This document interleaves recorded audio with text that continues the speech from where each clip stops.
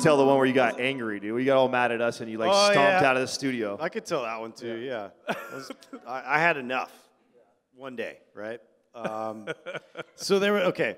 So when you're with these guys long enough, right, and and you're trying your best every day to get in there, like I got an opinion too.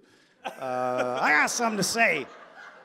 You know, and like I got all this content I'm gonna bring to the table today, and I was all confident, and I had just like watched this like incredible TED talk about.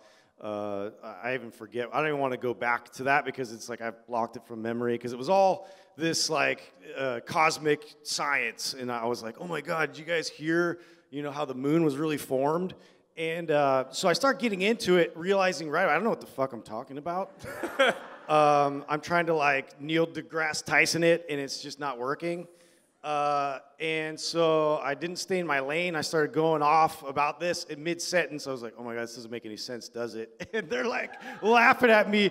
And then, you know, and they're, they're ribbing me on it because it's like, dude, yes, of course, you guys got to make fun of me because like this was awful, right? It was, I was awful delivery. My stories, like I'd really been trying to like get better at telling stories. Like I've been terrible at it forever, right? And so, like, I was like, oh, I've been doing so good. And that just got to me. I was like, fuck, you know, like, ah.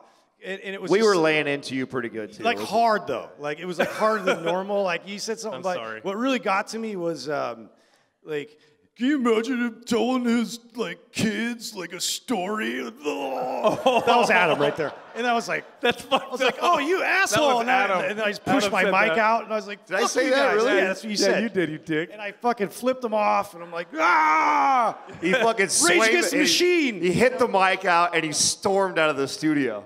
And I had a temper tantrum. Sal looked at me. He's like, "Oh fuck, bro." He's and he never seen Justin like I've seen Justin mad before, so he's like, Yeah, I had to keep it together. He's like, should I- had to should I go in there and go- by myself? "Should I go apologize to him? Should I go say?"